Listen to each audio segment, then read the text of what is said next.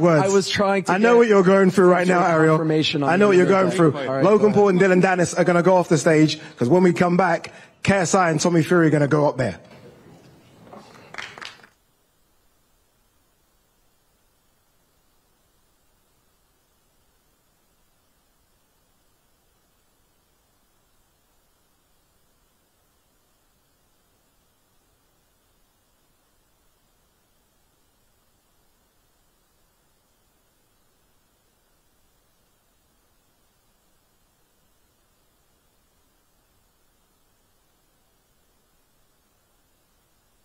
That was crazy.